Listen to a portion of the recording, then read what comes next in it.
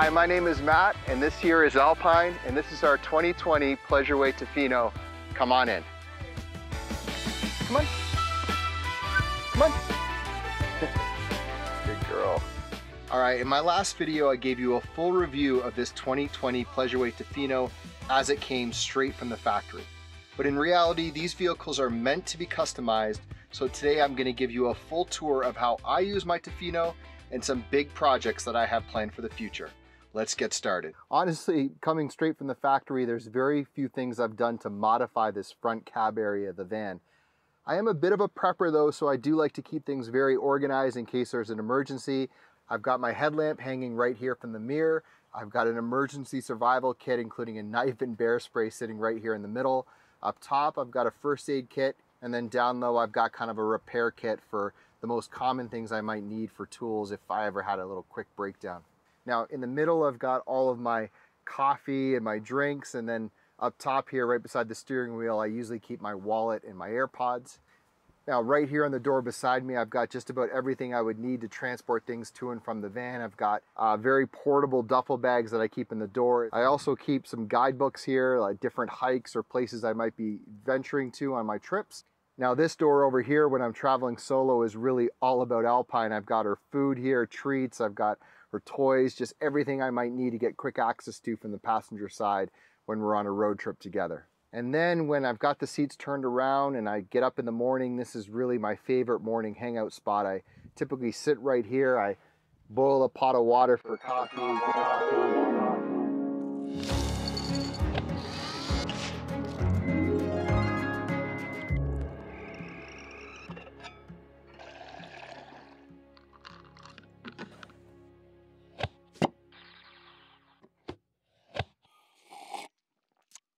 Make myself a smoothie.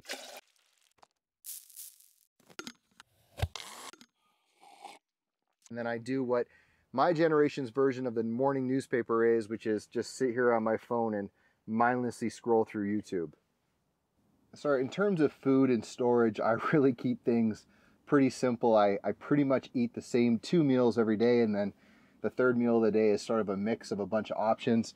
I've got the kettle up top for coffee and for doing dishes. I've got my NutriBullet here for my morning smoothies.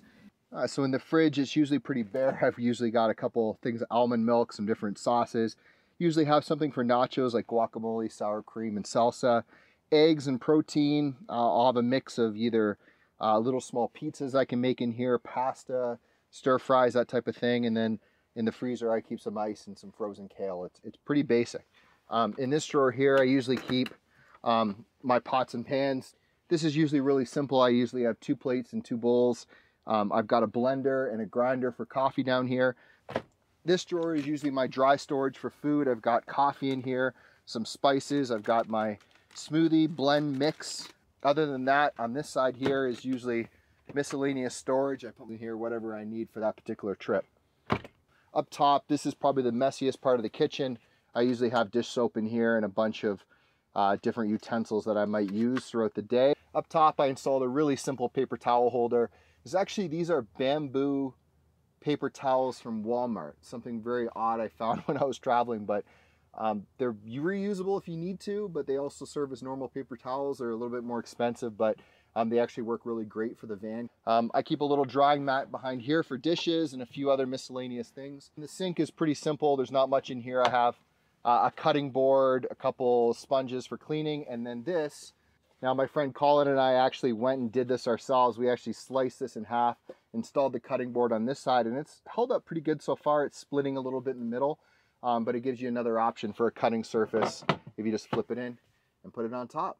All right, so moving back, this area serves as my mobile studio and office when I'm on the road. Then I simply grab the portable table from behind the driver's seat, I move it to the back, I set up my laptop, and I'm really good to go for the day. And from this position, it's the views that really make this a great place to work. I've got power outlets for all the power I need right here. I've got an Amazon Echo for audio and automation sitting right behind me. I've got this Google Fi hotspot plugged directly into the solar panels. And this really gives me all the power and data and everything I need to work remotely from anywhere in the world as long as I've got a good cell phone signal. I could honestly do a whole video about this Google Fi and the hotspot, but for now, I'll just put a card up here and you can go check out Google Fi for yourself. You won't be disappointed. All right, so moving into the back, this is where I actually store all my bedding and all my gear during the day. Just happens to double as a pretty awesome day bed for Alpine here. uh, the bonus back here is when I don't have my mountain bike with me, um, I can actually lay across the back here from end to end and it makes a great spot just a nap during the day without having to actually put down the entire bed. All right, so now for clothes, I actually usually keep all of my clothes in these really handy little packing cubes. These ones are from Peak Design. Um, there's a little pocket here for laundry and the rest of it is just your clean clothes. And the cool thing about these is I can just pack them in my day bag for shorter trips or if I'm in the van for a longer period of time, I can just sort of place them in these little side pockets here um, to keep them out of the way. Now below this bed here is actually the garage and this thing is usually kept completely full. The really cool thing about this that you remember from my review video is I've got two actual ways to access this. One is I can just walk outside the van and get at everything by opening these two doors. The other one is if little Alpine's not laying here, I can actually just lift up this part of the bed and I can access everything downstairs in the garage without actually having to leave the vehicle. Now the cool part is when I'm traveling solo, I can go from that to this. And as you can see, it's basically the same setup, except instead of my luggage over here on the side, I've got my mountain bike and I just have to take off the two wheels, flip it around and it fits here perfectly. Still plenty of room to sit in the back and the bonus is I keep the mountain bike inside the van. All right, on the outside, I also have this Thule two bike rack as well as a Kuat two inch dropper. Now what this allows me to do is move the bike from the inside to the outside, add an additional bike, frees up a ton of space. And the best part, basically just lower the bike and then I have full access to the back doors right here. All right, now on the shower side, there is no shower inside this van, as I mentioned, but sort of here's the setup that I use if I need to take a shower outside. I just walk around here, grab this handy hose that just sits in the back and it's hooked up to the water pump, drop it over here. It's not the most sophisticated shower system, but when it's warm outside, it does the trick. Now this hose back here also doubles to clean equipment. I can simply grab it off here, bring it around the front and you know wash the bike or Alpine or whatever I need to use. Now in terms of the rest of the outside of this van, I've left this thing pretty much unchanged with the exception of one big addition, which is a moonshade awning. And I wanna show you how this works, but I think I've got a better spot to set this up. Let me just. This looks like a sweet spot for a campsite.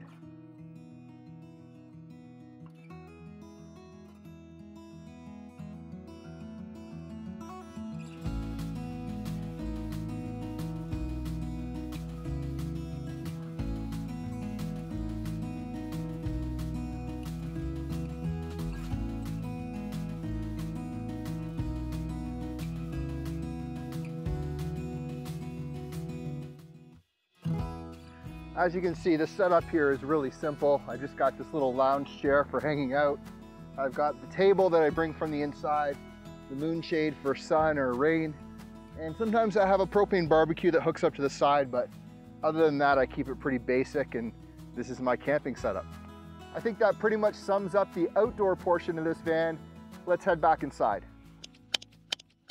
All right, let's move on to the pop top. Now, if you saw my review video, I think you know a lot of this already, but the pop top really serves three main purposes for me. The first is when I'm stopped and I open up the top, I've got lots of room here to stand up. I can cook a meal here, I can change, I can just stretch my legs. It's pretty awesome. The second one is when I am stopped for a little longer, I do move a lot of my stuff from the either front seats or the back up to the top. It just frees up space in the back, gives me more room, keeps everything a lot more clean. And then the final one is during a nice warm day when I want to kind of open up the side panels and let the breeze flow through. This is just a really cool spot for me to nap. And it just allows me to not have to make the bed. I can just climb up here, open up the windows, and I'm good to go. So during the day, I keep this little portable toilet. It's actually a porta potty just sort of hidden here beside the couch, but don't worry, I'm not gonna demo it. You'll just have to take my word for it. The model is actually a Thetford 135 and it's just over $100 here in Canada on Amazon. Um, really simple. I can empty this at any outdoor washroom or porta potty. Easy solution for a RV that doesn't actually have a full washroom. All right, now all that's left to do after that is put on some pajamas, close these blinds, press the magic button, and we're good to go. All right, now when it is really cold or really hot at night, I have a couple options to heat or cool the van. So first of all, if I am plugged into shore power, I can plug in this Vornado heater. It keeps the van pretty warm um, down to maybe minus seven or minus eight degrees Celsius. Now, if it's really cold or I don't have shore power, I can easily switch to the built-in furnace that runs off the propane tank. I have tested this thing and it can keep the van warm down to probably minus 30 or even minus 40 degrees Celsius. It's pretty amazing with the insulation and the propane heater. It's nice and toasty in here. Now, in terms of propane costs, it takes about 11 or 12 dollars Canadian to fill the propane tank. Usually comes down to about one to two dollars a night if it's very cold. Now, if it's too hot in here, that's a completely different story. The biggest advantage is the pop top because there are vents on the side. It really allows the hot air to rise and escape out the top the other option is there are three windows that just sort of twist open that have bug nets. Those really help keep the circulation going in the van. I also have a Vornado fan that I keep in here. Now, Vornado is kind of interesting. They're not really fans. They sort of circulate the air inside of a room. They actually work pretty well here and they're pretty quiet to operate. So between the heater and the regular fan, I really appreciate what Vornado does. Now, in the worst case scenario, if it's really hot, you can sort of open the back and open the side and use the bug nets like I showed in my review video. And that's going to give you kind of a camping feel and keep things really cool inside the van. And if you're in absolute dire situation, you can always turn on the vehicle and run the air conditioning for a few minutes to cool things down. Now, in terms of security, I have these very small and very effective Wyze cameras installed here in the van. I have two of them, and basically they run off the internal Wi-Fi off the Google Fi hotspot I have in the back. And these things are very useful because during the day I can have them turned on when I'm away from the van. They're going to detect if there's a carbon monoxide in the van. They're going to detect if there's propane. They're going to listen for sounds if someone actually breaks into the van. And they're actually going to be detecting for motion. So if this side door here opens up, they're actually going to sense that there's someone outside and they're going to notify my phone all of the footage from these cameras is actually being uploaded to the cloud in real time. So if there is an event, and even if the van gets stolen or the cameras get destroyed, I have a actual archive of that footage that I can bring to the police or use to help figure out what actually happened. All right, so that is it. I think you now officially know just about everything there is to know about my particular build of this Pleasureway Tofino. Now for the next few months, uh, I'm only going to be putting out a video once a month. It's a very special project that I'm just starting out. No spoilers yet, but if you want to know what I'm working on, you can check out my Instagram. And in the meantime, thanks for joining me on this video, and I'll see you on the next one. Bye for now.